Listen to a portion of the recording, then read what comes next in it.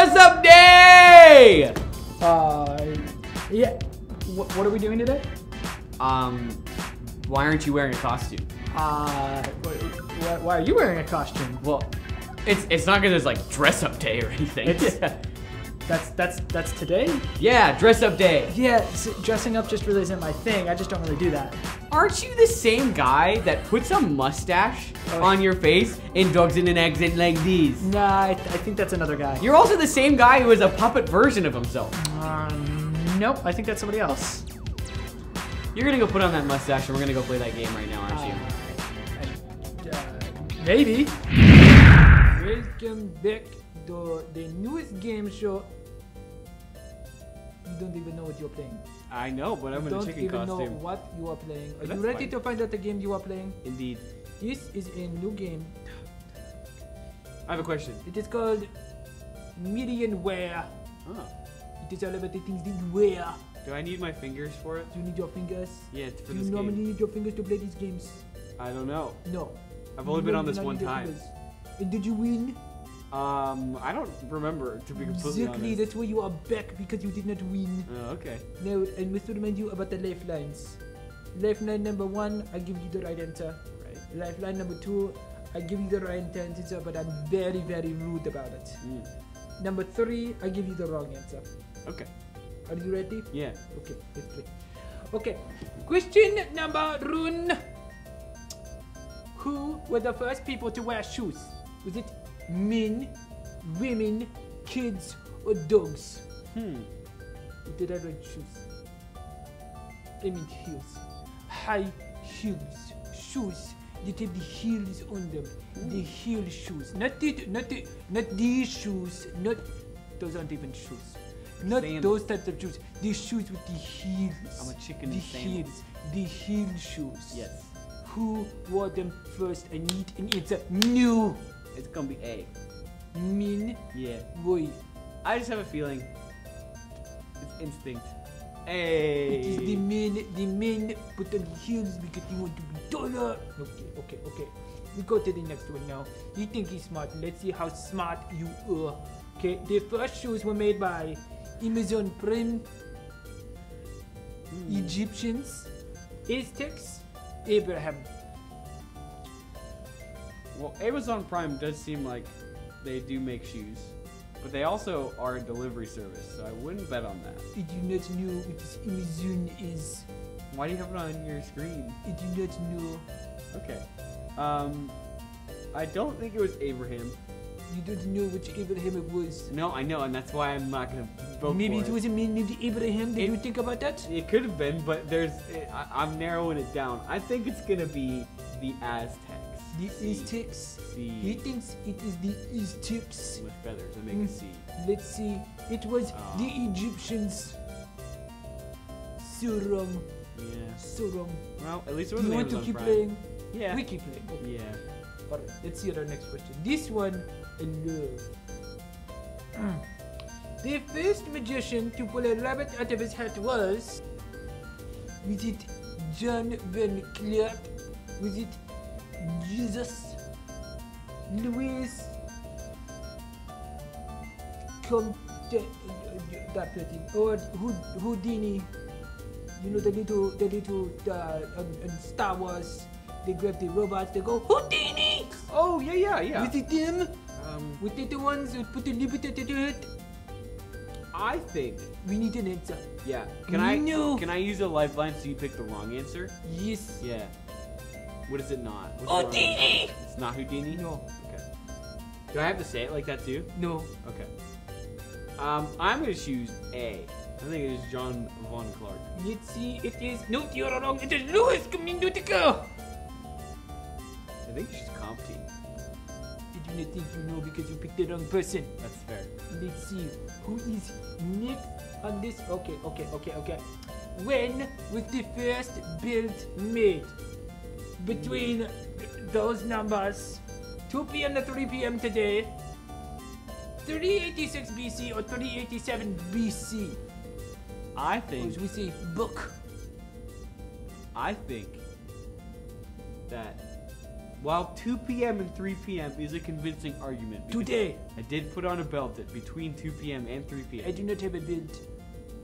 I think What do you think? it's pretty pretty old. I think it's gonna be between 33 and 1200. Okay, let's see. It is Spain. You got one right. Let's see. Let's see the next one. When was the court invented? Was it 1600s, 1700s, 1800s, 1900s? He does not know. I'm gonna take a blind guess here. Close your eyes. I'm gonna say B, 1700s. And he would be incorrect. You realize you lose no chicken costume. But this is mine. Okay, let me keep going. Let's see what is what is next. Okay, we have the uh Panama hats are mainly made in China, Canada, eh, Mexico, Ec- uh, Ec- Ecuador. I'm gonna say it's C. And the correct answer is Ecuador. Oh. Okay, let's let's keep going. Let's I'm see not how doing too do. good at this No, no, no. One bale of cotton can produce how many pairs of jeans? Is it one? Is it seventeen? Is it 133 or the 235? I don't know how big a bale of cotton is, but I'm big. I'm gonna assume it's it's pretty low Okay. because I think it's like a shock. You factor, think it's like, one? whoa. Yes. And the answer is 235. Well, I went in the opposite direction than I should have, but it's all right. Okay, we keep playing. In the 1920s, jeans were the most popular among politicians, pastors, ministers, salesmen. I'm gonna say minors. Miners, and it would get run correct. Okay, Woo. okay, okay, okay. Back on the right track. Okay. Let's go. We keep playing. On average, how many pairs of jeans does a person own? Three, five, seven, nine. How many do you own? I do not want to know. I do, I do. I. I'm gonna go with B. Five. It would be Wow. seven. I only own five, so. Feels bad. This is your last chance. To keep the What brand of sock is the most expensive? Mm. Um. Harry's of London, Yeah. Filke, Frescani, Arthur George. Two different men. Yeah. Well, because I- I'm gonna go off the amount of people that made these socks, and that's probably the most expensive, right? Okay. So Arthur George, there's two people, right? Yes. Bres Bresciani, however you say that. I don't know how many people that is. It sounds like just one. Also with Falke, just one. Harry's of London. There could be so many Harrys. So many. Harrys. So I'm gonna go with Harry's of London. Let's see if you're right. You are right. Congratulations. Wow. Does that mean I get to keep the costume? No, goodbye. All right, boys and girls, it is the dress up version of the Bible verse this week. And because I'm dressed like a chicken, let's just go chicken, chicken or nothing. Here we go. Ready? Repeat after me. Anyone who lives without blame, walk safely. Anyone who takes a crooked path, cock-a-doodle-doo, will get caught. Proverbs 10, 9. Flap, flap, flap, flap.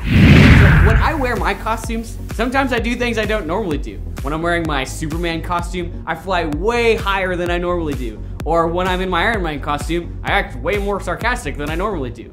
But when I'm able to worship God, I can be exactly who I want to be. I can be exactly who I am, and I don't have to do anything different or act like I'm in a costume. So let's stand up together and worship.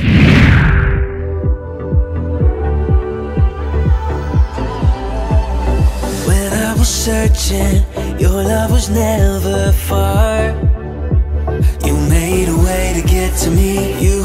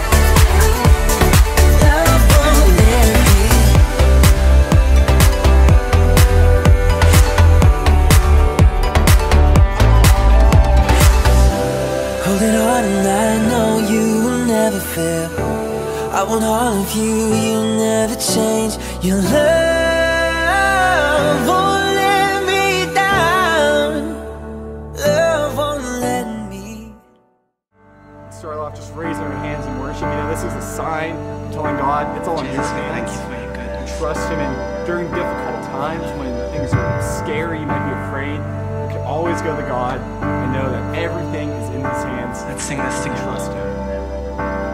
Thank you, Jesus. Of all the things that I could do for you, and all the things that I could say, nothing is better.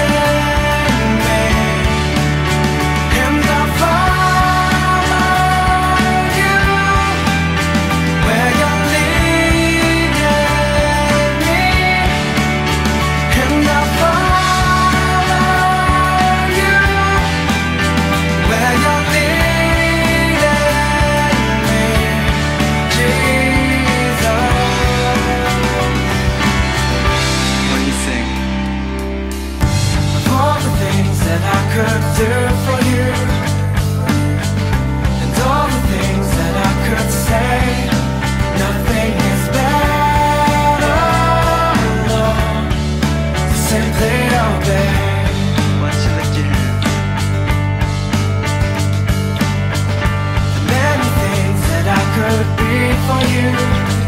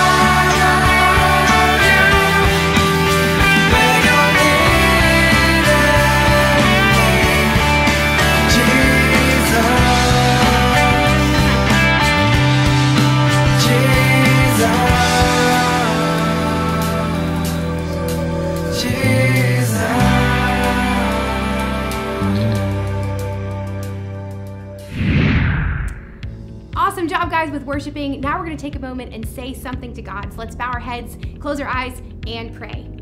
Father God, we thank you so much that when we're with you, we don't have to be something we're not.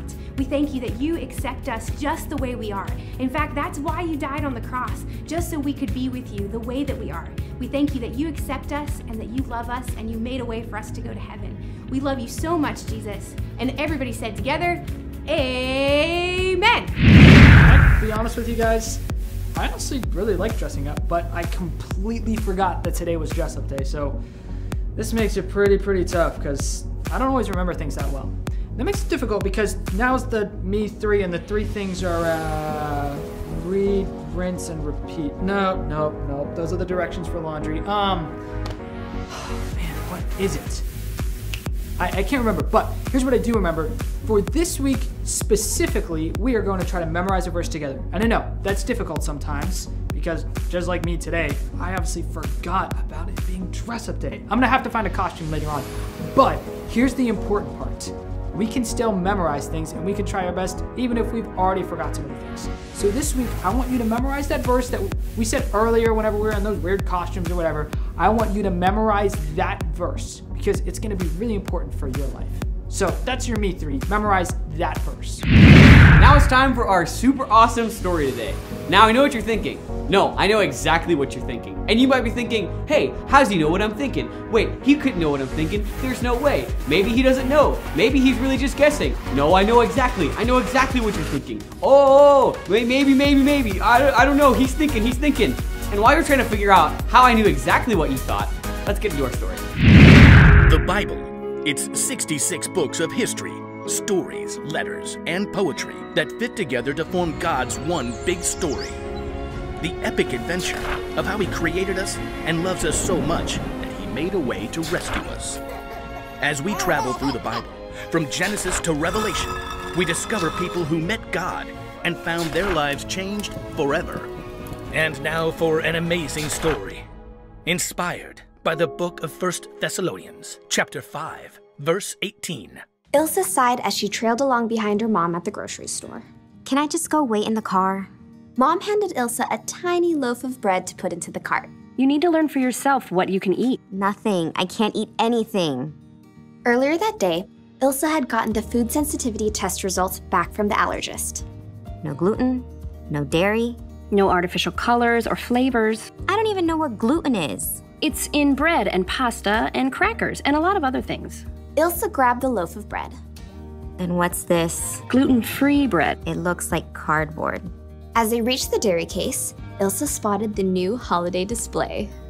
Yes, they've got eggnog. She reached for a carton, but Mom shook her head. Eggnog has dairy in it, hun. You can't have milk. Let's try this instead. Mom picked up a small carton and handed it to Ilsa.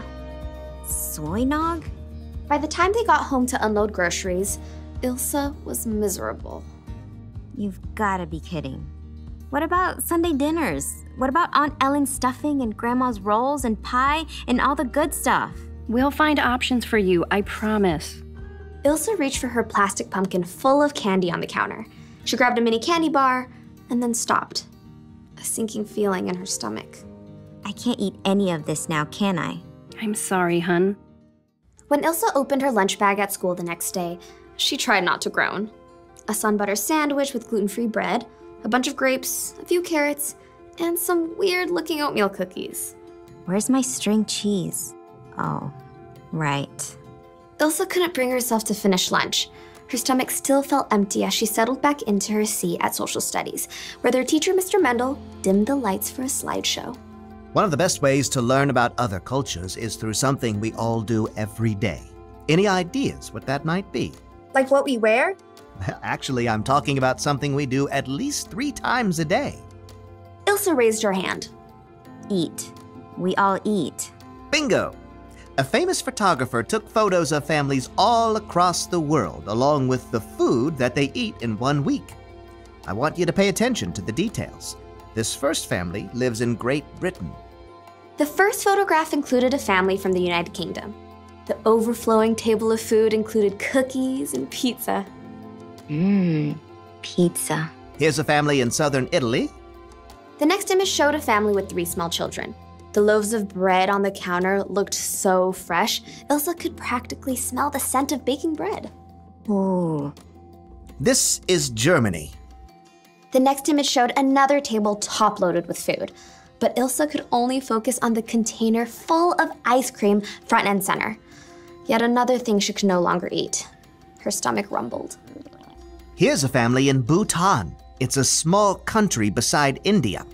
The next photo showed 12 people with a colorful display of vegetables, a large bag of rice, and a small amount of meat. Ilsa frowned. That's all they eat? It's what they have to work with. This next photograph is from the country of Chad, in Central Africa. A family of six sat on the ground. In front of them, a tiny bag of grains, a small amount of beans, and a handful of vegetables. Wait, where's the rest of their food? That's it. For a whole week? Ilsa shook her head. That's just. Ilsa? What are you thinking? I guess I knew that some people don't have the same things to eat that we do, or as much. It's just different. Seeing it.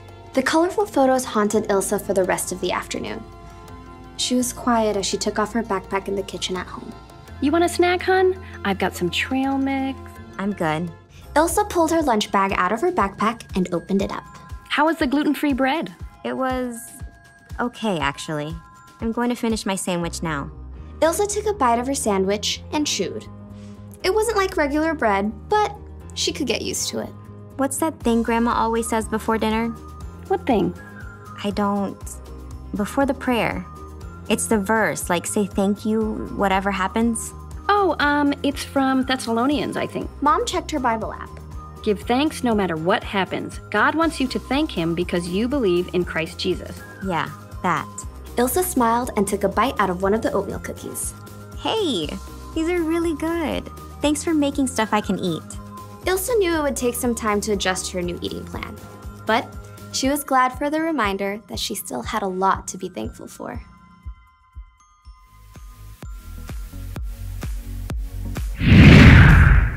All right, I finally did it. I made a note and I have my costume. It was the best I could come up with, but I uh, I think I could, why, why aren't you in costume anymore?